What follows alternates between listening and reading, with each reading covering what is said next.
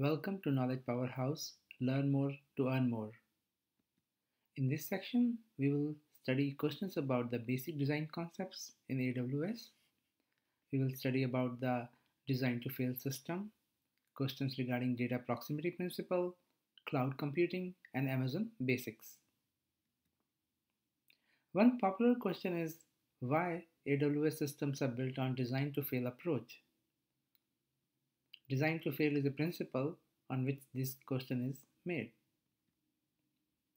So to understand the design to fail principle, you have to see that let's say there is an example where we have system A and system B that are connected to a database and this database is a single point of failure. If database crashes, our whole system comes down. So how will you design a system that can handle such a failure? To create a design to fail system, we will use a backup database. In AWS, it's very easy to replicate a database and create a backup database.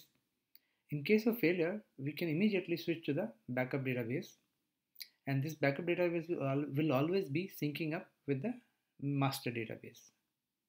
Our system will not face very long downtime with the backup database. So as soon as the database crashes, we switch over system A and system B to backup database. With this, the system will remain available for a long period of time. Later in the course, we will explain what are the tools in AWS that can be used for such a fast switch to backup database. So for a design to fail system, there are certain characteristics. First of all, if we follow a pessimist approach while designing an architecture in the cloud, we will assume that the things will fail. So that is the first thing for a design to fail system that we are not optimistic. We are pessimistic that system will fail. To handle such failure, we will have to always create a system that can have an automated recovery from failure. So we have to create an inbuilt automated recovery mechanism in a design to fail system. Also, an AWS system is designed to automatically recover from design, execution, and deploy stage failures. When all these three stages of failures are handled, the system can handle any failure. Okay, so now we come to the question that what are the tools in AWS that can be used for creating a system based on design to fail principle.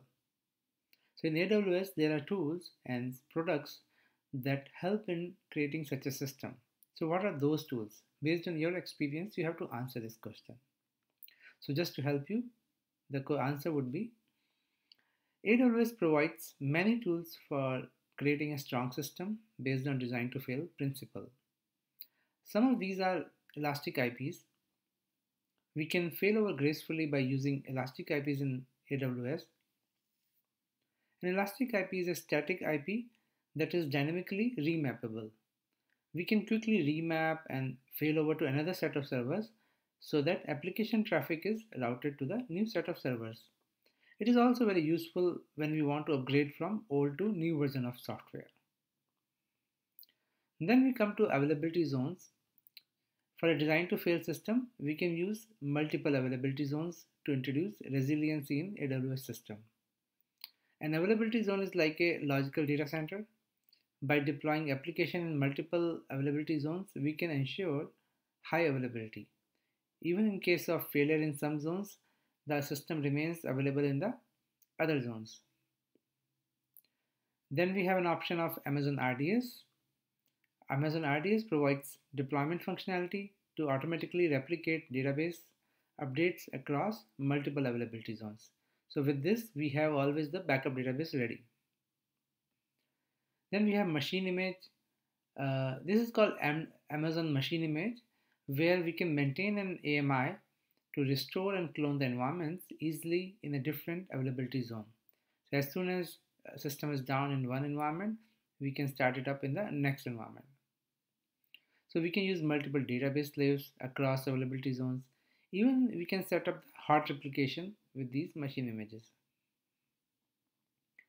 Amazon CloudWatch.